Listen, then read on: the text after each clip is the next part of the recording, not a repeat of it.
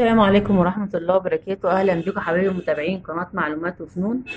آه بإذن الله النهاردة هنكمل آه الجزء الثالث من فانوس المثلث ببديل الإزاز. آه إن شاء الله النهاردة هنعمل الجزء اللي تحت من الفانوس. آه معلش الجزء اللي فات التليفون فصل وأنا شغالة. آه أنا كنت هنا بعمل هنا اللي هي الغرزة الداخلية دي. قلنا الغرزة النايمة. آه، دي عملناها أربعة على واحد والزاوية اللي هي الجزئية اللي هي ال- بتاعت التشبيك دي. كنت بعملها على على اتنين أربعة على اتنين والباقي أربعة على واحد. عطاني الجزء المربع اللي جوه ده عشان خاطر إيه؟ وحدة الصوت.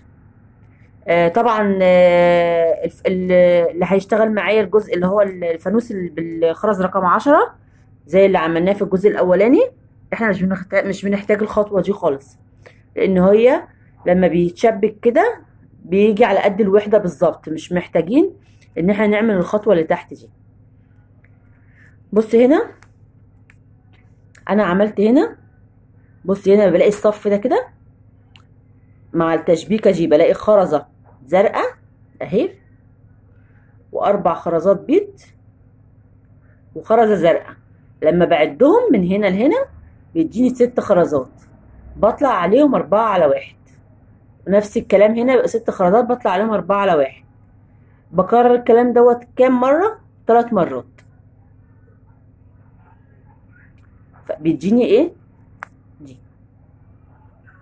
هنقول لكم هنا هنشتغل بإذن الله ونكملوه بس قبل أي حاجة بإذن الله هنسمي الله ونصلي على الرسول صلى الله عليه وسلم.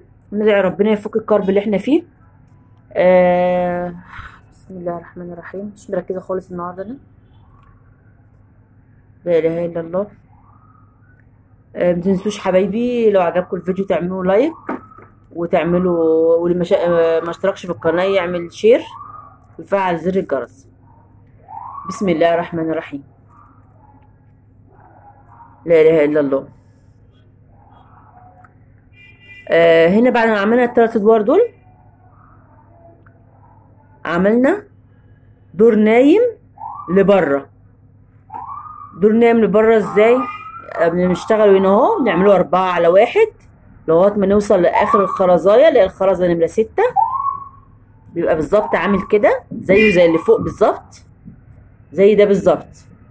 باجي هنا بتني الخرزة كده وبعمل خ- غرزة طايرة الغرزة الطايرة دي معمولة إزاي؟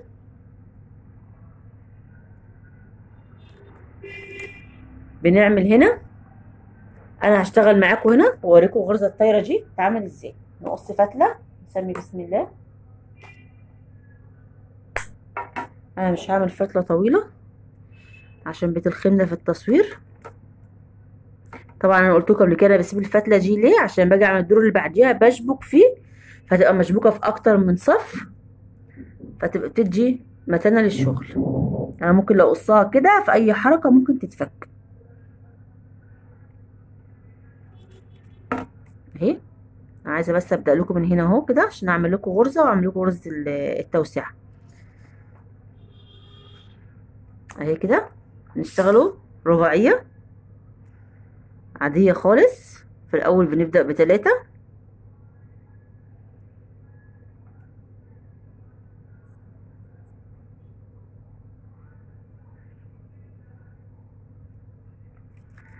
كده.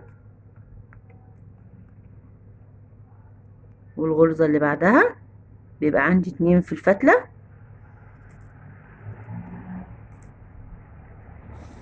بعمل اتنين.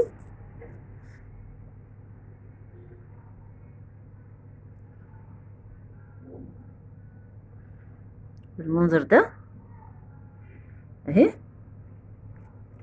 كده. أجي هنا عند الجزئيه اللي هي بتاعت الغرزه الطايرة اللي هو إحنا بنفرده الشغل كده. بص باجي هنا اهو باخد الفتلة اللي فوق. بص أنا هعملها لكم هنا بخرزه زرقاء وبعدين أبقى أفكها أنا بعدين عشان تبان بس معاكم. بص ب- بحط ثلاث خرزات وأرجعها في آخر خرزاية. من غير ما نمشي بالفتلة في خرزه من تحت أهي تديني المنظر ده كده.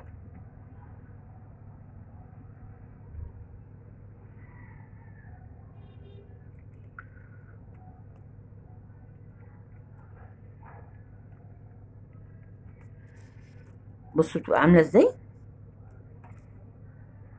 بصوا بتبقى عاملة إزاي؟ أهي طايرة أهي. أجي أعدي الخيط بتاعي بقى من تحت. واشتغل. غرزة. رباعية عادية خالص بالمنظر ده.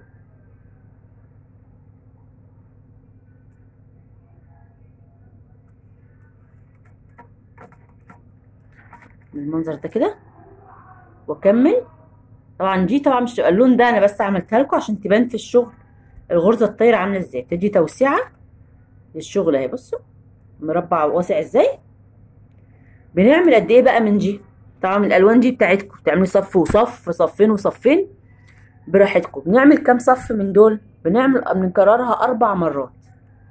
اهي. بصوا كده أنا معايا واحد تاني شغالة فيه. اهي. مكررها هنا كام واحدة؟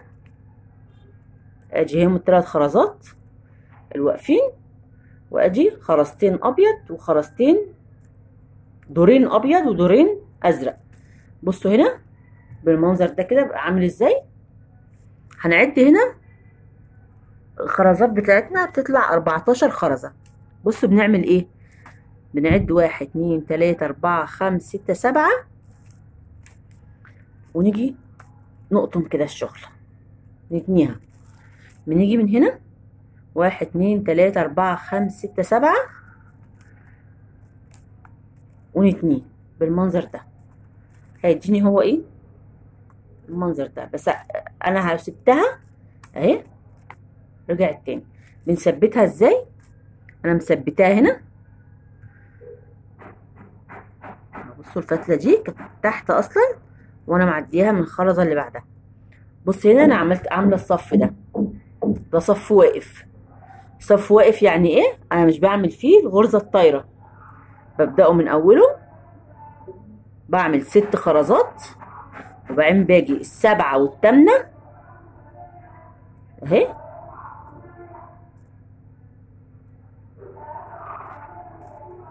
السبعة والثامنة ندخل معايا خرزية واقفة ومعايا غرزتين مع بعض. يبقى أحط خرزية واحدة. تديني؟ الشكل ده كده. بصوا هنا أنا عاملاها أهي معاكم. مجهزاها. بصوا هنا عدوا معايا. أدي واحد اتنين تلاتة أربعة خمس ستة. بصوا هنا لما باجي أشتغل هنا في الآخر خرزايه بعمل اللي بعدها على طول ما بعملش حاجة طايرة. يعني لما باجي أشتغل هنا زي مثلا زي دول أجي هنا واقوم مشغله في الخرزة اللي بعدها على طول. بتديني الغرزة الإيه؟ الواقفه هنا زي ما قلنا عديت شغل ست خرزات أربعة على واحد. آجي السبعة والتامنة أكسر كده. وأدخل الخيط في السبعة والتامنة مع بعض.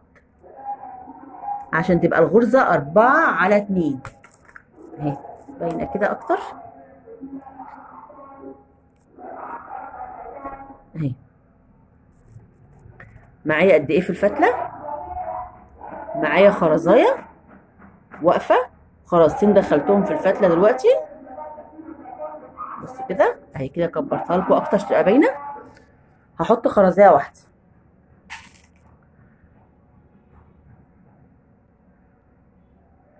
خرزية واحدة بالمنظر ده. خرزية واحدة وأعمل العقدة بتاعتها. الخيط الكبير طبعا دايما بيعاكس الشغل ونشد دي بقى جامد. عشان دي لو هوت هتبوظ كل المنظر اللي إحنا عاملينه. نكسر كده ونشد جامد. هي اتشدت بس لما اعمل الغرزة اللي بعدها برضو أثبت عليها تاني. وبعدين نرجع نحط خرزايه واحدة في الفتلة. يبقى كده معانا اتنين. نكمل الصف بتاعنا أربعة على واحد.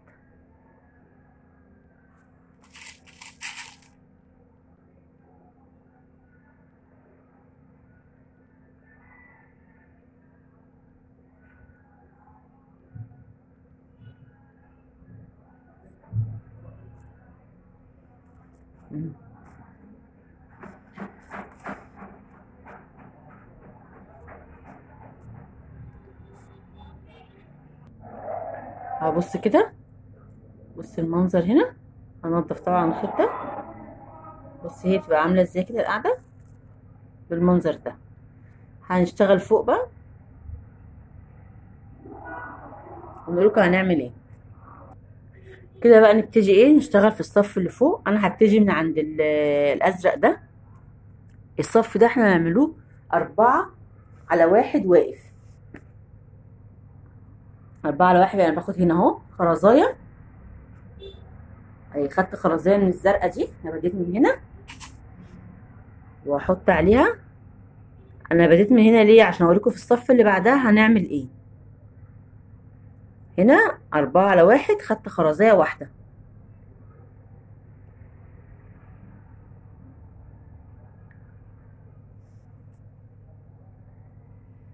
اهي نعمل العقدة بتاعتنا. وننصص الخرز كده خيط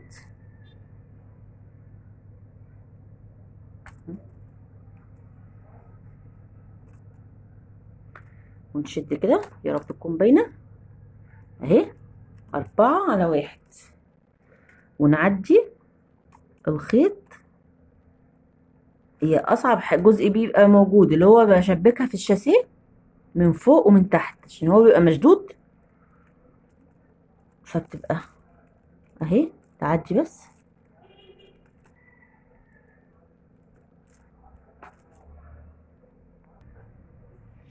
أهي خدنا خرزية البيضة اللي جنبها وحطينا خرزتين. ونشد كده بالمنظر ده. وناخدها. هي بعد كده بتبقى سهلة الصف اللي بعدها. يعني هي مش الفانوس كله هو سهل طبعا بس هي عشان وطبعا الشاسيه ده لازم يكون لازق كويس أو متركب كويس ومتقفل عليه لأن مع الشد كده والحركة لو هو مش مش ماسك نفسه أو مش ممكن إحنا بعد ما نعمل التثبيت اللي جوه نعيد عليه بالشمع عشان نضمن إن هو يبقى ماسك نفسه.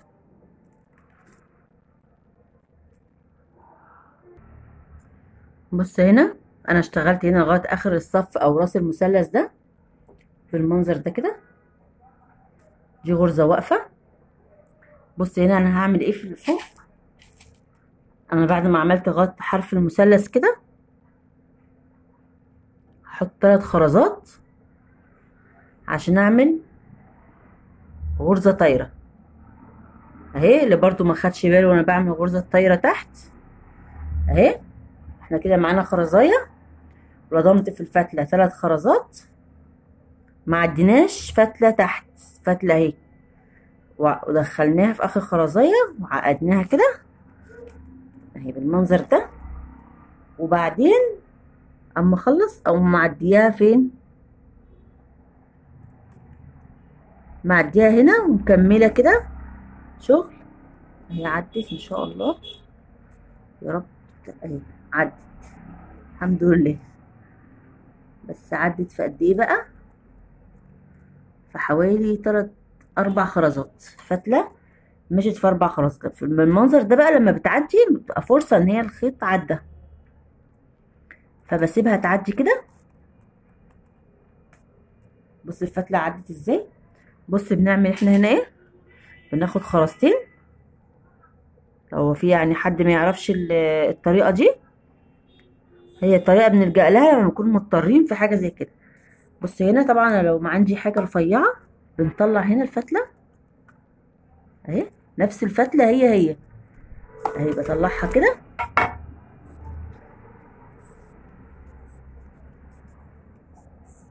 وبعدي الخرزة فيها كده. بعمل برضو العقدة بتاعتي وارجعها كده. واشد من الجنبين بتعمل نفس العقدة بس أنا إيه اهي بص بالمنظر ده أهي ونشد. هنعمل كده في الكام خرزية اللي دخلوا دول. هبص أهو من الأربع خرزات اللي هم دخلوا في الفتله أهي. بصوا هنا أنا لما بدخلها كده في الفتلة لازم أطلعها تاني في الخرزة الاخرانية أهي أهم حاجة شدي جامد. أدي كده أهو أنا هوريكي بس عشان لما دخلت ال- الخيط دخل في تلات أربع خرزات مع بعض من تحت. عملنا إيه؟ عشان لو عملت معاكي كده عشان هي ساعات مع الخيط الخرز الضيق دوت ما بتعرفيش تعدي خرزاية خرزاية. اهي بصوا المنظر ده. بصوا بقى عاملة إزاي؟